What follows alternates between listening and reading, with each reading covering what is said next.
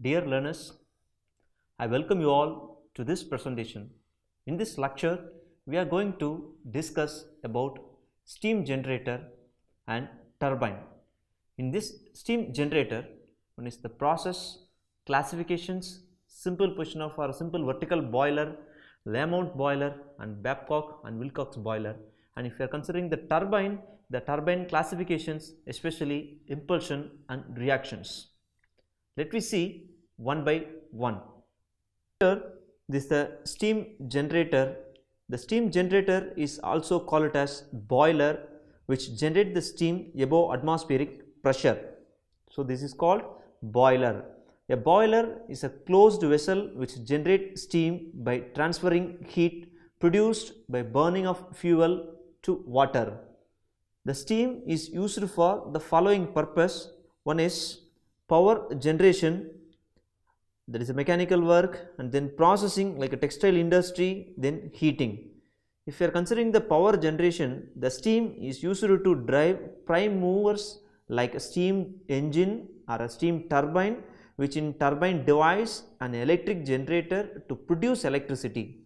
The power obtained from the steam turbine and steam engine can also be used to perform the mechanical work. The second thing is processing.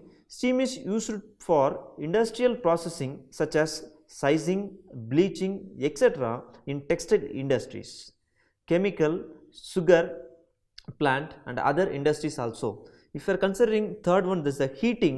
Here you have a heating. Steam is used for heating residential or industrial buildings in winter. It is also used to heat water for water supply. Then we have some classifications that is according to the axis of the cell. Here according to the axis of the cell we may classify it horizontal, vertical as well as inclined. For example, the vertical boilers occupies less space. Here the simple vertical boiler is the best example for according to the axis of this cell. Second thing, according to the flow of water on the hot gases. Flow of water on the hot gases that is fire tube boiler and water tube boiler. In the fire tube boiler, the hot gases flow inside the tube and the water surrounds the tube. Example, Cochran boiler, Lancashire boiler and locomotive boiler. Then in this water tube boiler, if water tube boiler, the water is inside the tube and hot gases surrounded the tubes. Example, Babcock and Wilcox boiler and Lamont boiler and Velox boiler. Then third one is according to the position of the furnace. According to the position of the furnace, it may be externally fired and internally fired. The boiler is known as externally fired if the furnace or firebox is shooted outside the cell. Example, Babcock and Wilcox boiler. In case the internally fired boiler, the furnace is located inside the boiler cell.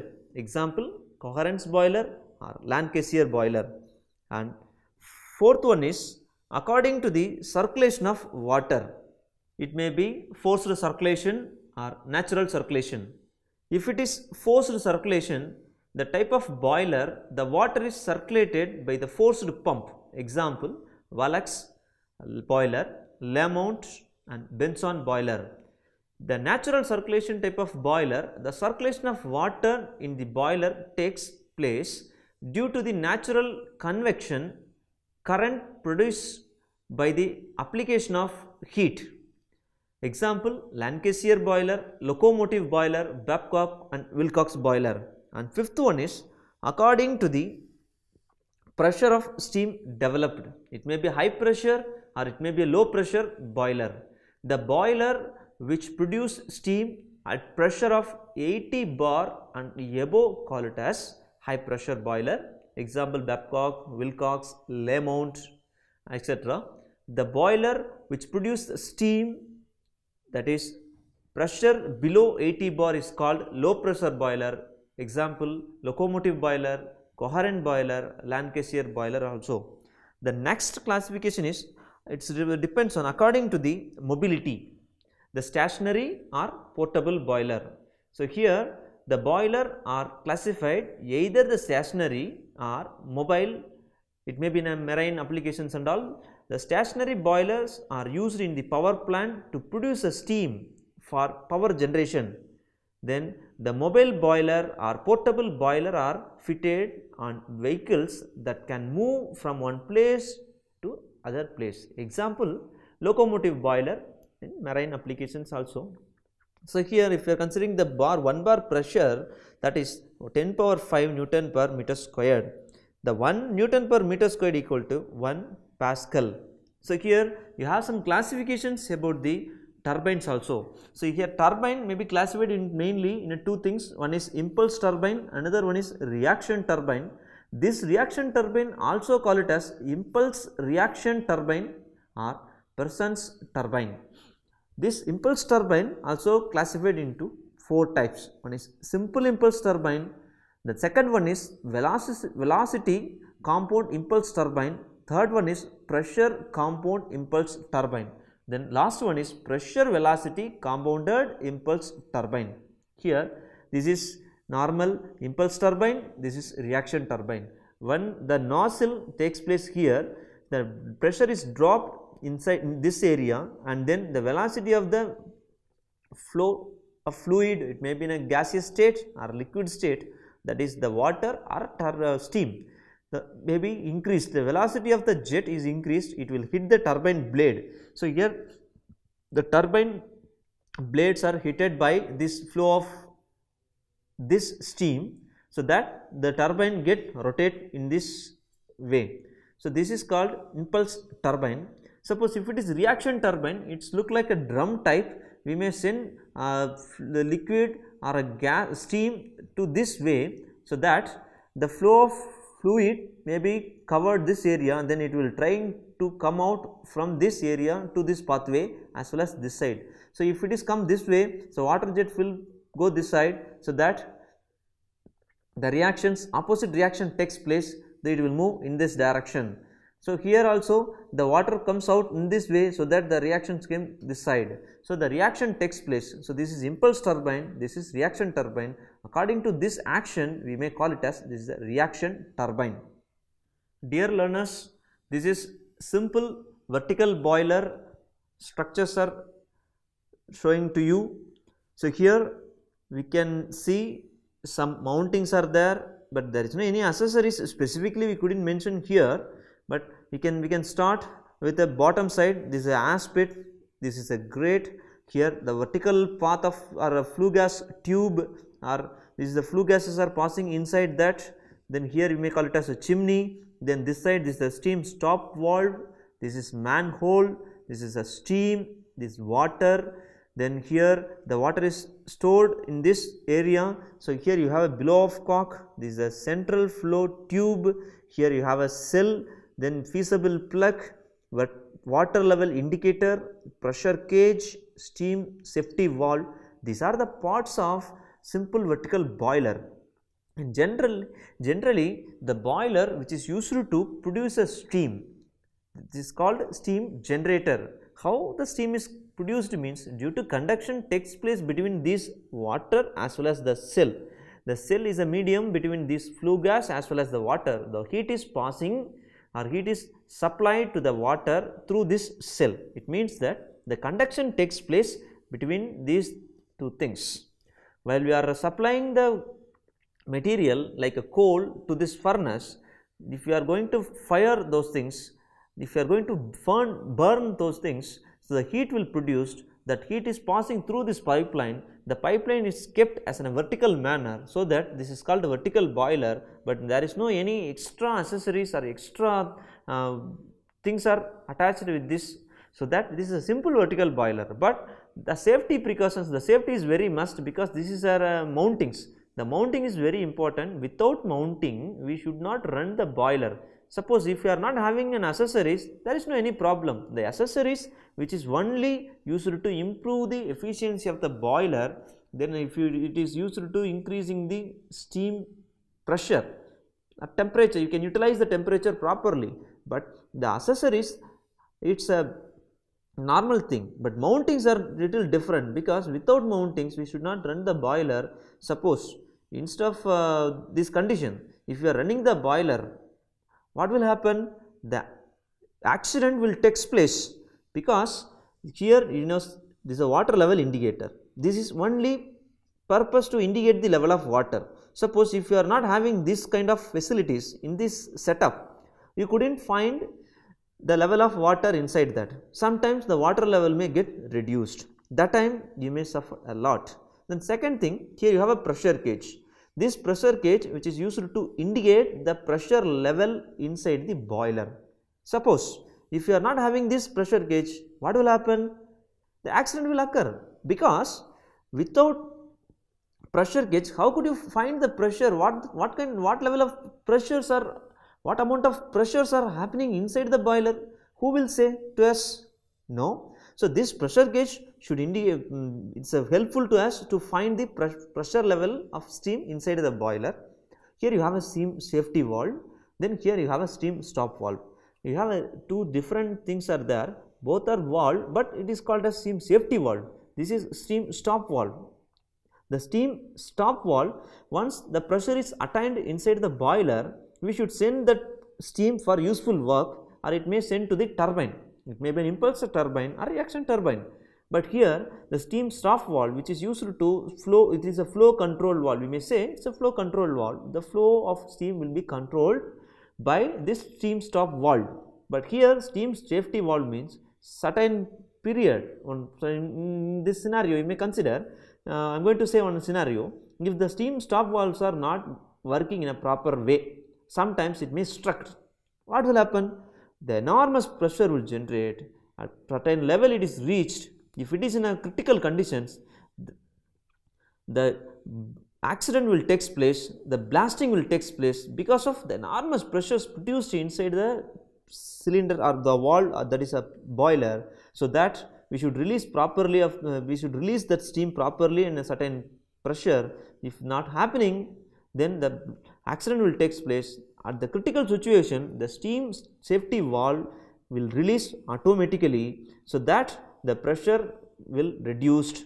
Then we can be in a safer side. We can keep all the things we can keep the, all the things in a safer side.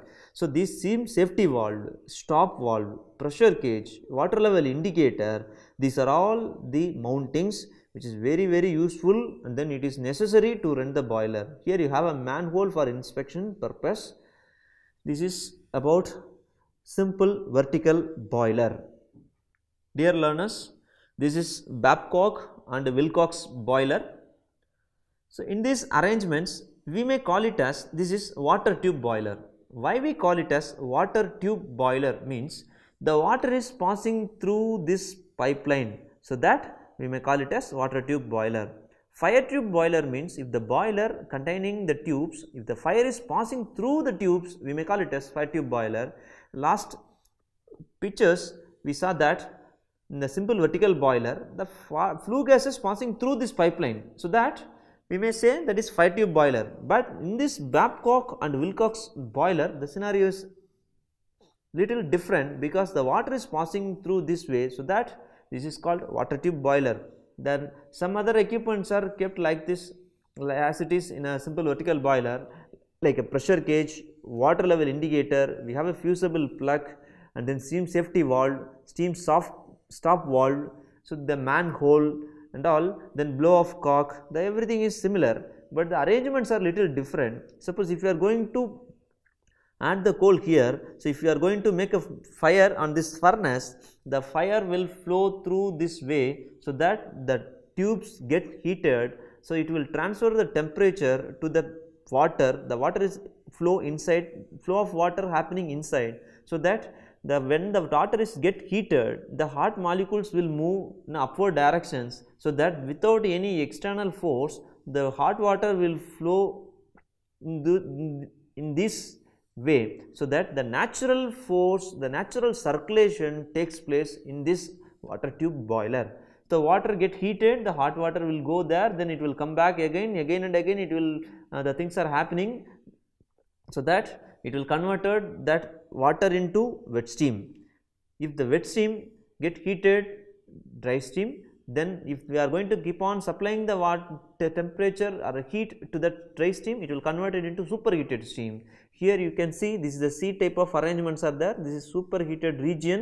Once the water is converted into wet steam it will occupy this area you can see this is the empty area. So the steams are occupied in this area. The water is in a below of this steam so the steam there is only way to enter in this directions so the steam will enter into this direction. According to the pressure the steam will enter in this way. So here the steam enter in this c type clamp. Here you are already supplying the heat continuously so that the superheated again will absorb the heat from the flue gases and then it will supply to this this tube will supply to the heat to the wet steam or dry steam. That dry steam can absorb the heat then it will convert it into superheated steam. That superheated steams again we can send to the required works. So, these are the working of Babcock and Wilcox boiler. And then I forgot to say one thing. This is a fusible plug here as well as blow off cock here. The fusible plug it is also occupied this is also available in the simple vertical boiler also for what purpose we are using the fusible plug means suppose if the water level is too much of heat so that if the heat is too very high then if you want to stop then the fusible plug get melted in the temperature and then what will happen the flow of this water will pour into this fire pit area the grate area so that the temperature of this furnace can get off or may be reduced so that we can control the flow or we can control the temperature in the water level. Then here a blow off cock it is in a bottommost portion of this setups because the water may get contaminated with uh, some other uh, dust particles. The, all the other dust particles are sedimented in this in the bottom of these portions only. If you want to clean it, it is very easy to clean while we are having the blow off cock in the bottom side of these setups. So, here you have an inspection door, this inspection door it is similar to previous one, it is used to inspect, inspect the inside of the boilers. These are the working of Babcock and Wilcox boiler. Dear learners, now we are going to see about Lamont boiler. The Lamont boiler which is used to produce the pressure of the steam it is more than 80 bar. So, here the arrangements are little different. We have some layouts or line sketches are available. We can start with one end. For example what are the spots are available here means we can see one by one. Here you have a ash pit grate fire which is similar to previous one and all then you have a flow of uh, fuel to grate. Then here combustion chamber this is the combustion chamber and then you have a cell. These are the cells are covered. Then you have you have a evaporator. You have a distribution uh, distributing headed with the orifice. You have a circulating pump down chamber and this is the uh, steam generator or a boiler area and then this is a convection of superheated this is a superheated steam turbine we can attain. Then here you can uh, economizer you have feed pump feed water air preheater blower cold air in this is the exhaust gas to the chimney. So, this is a hot air to combustion chamber. These are the parts are available the Lamont boiler. First once if you want to start the water boiler you should pour the water inside the if you want to run the boiler or if you want to start to fire the furnace the boiler should keep containing the water. So, once already you pour the water then you should keep on pouring the water because of according to the level of water reducing you want to refill it okay then if you are going to fire the furnace or coal inside the furnace if you are going to fire the coal so you need some gas or atmospheric air to burn properly. So we can collect the air from the atmosphere. Air where it is coming from you can see this the directions. This the directions. It's a air preheater. Before that you have a blower. Then it, the blower will collect the heat, collect the air in from the atmosphere. Sometimes the atmospheric air may get cold conditions in the winter seasons. The summer season the scenario is different. Suppose if it is a tropical or subtropical region whatever it is if the conditions the what the air should be in a preheated conditions if should be preheated conditions then only it will increasing the firing capacity of the coal. But the outside of the atmospheric air may be colded conditions then we should utilize the wasted heat through the flue gases properly then how we can utilize means we can send the air atmospheric air to the furnace through the air preheater. So, while the atmospheric air cold air is passing through the air preheater with the help of blower to the furnace the air preheater region in this region the temperature is absorbed by the cold air from the flue gases. So, the flue gases already it is in the wasted one we are going to we are uh, sending into the atmosphere only, but before going to send to the atmosphere we can try to utilize that heat for our useful purpose. So, that the air preheater which is used to preheat the atmospheric air for improving the by firing cap capacity of the furnace. And second thing feed water circuits, suppose if you are considering the feed water, here you have a pump, the feed water pump which is used to pump the water from the sump to the drum, steam separator drum. So, here you have an economizer. Why we call it as economizers means suppose if you are going to pour the water in the drum. So, here if it is in a cold water or it is may it may be a normal water if you are going to send through this evaporator conditions and all so it will absorb the heat from this furnace area so if it is a cold or a warm water it will take time to convert that water level or liquid level into vapor state or gaseous state so that if the water is sending through the economizer the economizer which is used to absorb the heat of the flue gases and it will improve the temperature of the feed water once the water is in a warm conditions then the temperature of that water may converted into steam easily. So, that we are trying to utilize this flue gases heat in this area for the feed water supply.